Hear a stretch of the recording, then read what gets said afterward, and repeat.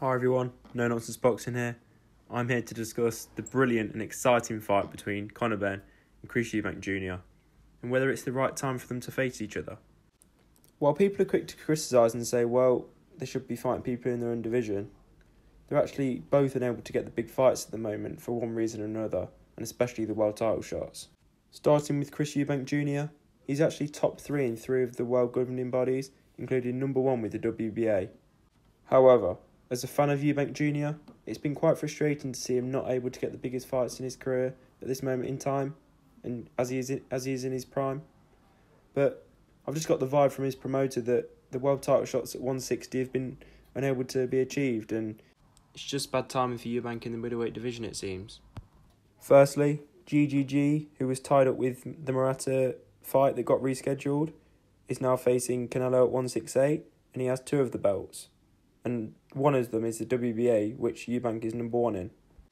Then there's Demetrius Andrade, who is the WBO holder at 160, but who knows what's going on with him at the moment. You know, he was supposed to go up to 168 to fight Zach Parker for the interim WBO title, but that didn't happen.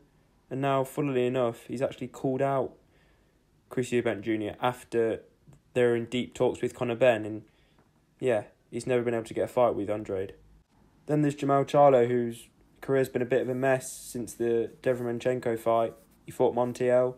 He was scheduled to fight Sulecki, but now nothing's happening with him at the moment. You know, he was chasing the Canelo fight for a while, and actually with Eubank, he actually signed with Showtime and PBC um, in 2019 before the COVID 19 pandemic, and he fought Korobov and he got the WBA interim title.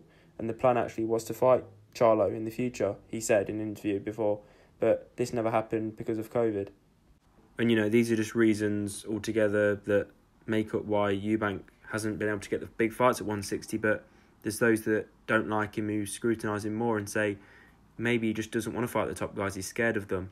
And this actually comes from um, a quote from GGG back in 2016 when they were supposed to fight and said that Eubank actually lost his pen uh, when they were supposed to fight as he wasn't signing the contract. Moving on to Conor Benn, he's actually steadily moved through the rankings at 147 in his career without actually fighting the top guys. Um, in his next fight, before the Chris Eubank Jr. fight was talked about, there was talks that he was going to fight Jose Ramirez, Thurman, Broner, amongst others. But many observers didn't really see these as realistic targets because of boxing politics, and people saw them as just Hearn putting out names out there just for publicity. You know, he they weren't ever going to fight the likes of Thurman. But even though Benn hasn't really had a world level test yet, someone that will actually hit him back with real power, he's actually top five in all four major governing bodies. And while Benn has shown how explosive he can be, the boxing public doesn't actually really know how good he is yet because he hasn't fought at that world level.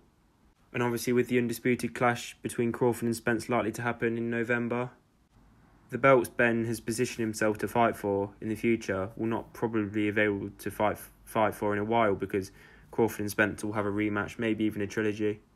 And those above him in the rankings, such as Ortiz Jr. and Boots Ennis, are viewed to be on a much higher level than Benn. And so, you know, all this considered, maybe it is the right time for Benn to take this big fight outside his weight class because Hearn's always made it clear that the goal with him is to win a world title at 147. And this may be realistic and a good opportunity for Benn through a future vacant belt, as he'd be a big underdog in the eyes of many versus the likes of Crawford, Spence especially, and you know Ennis Ortiz as well.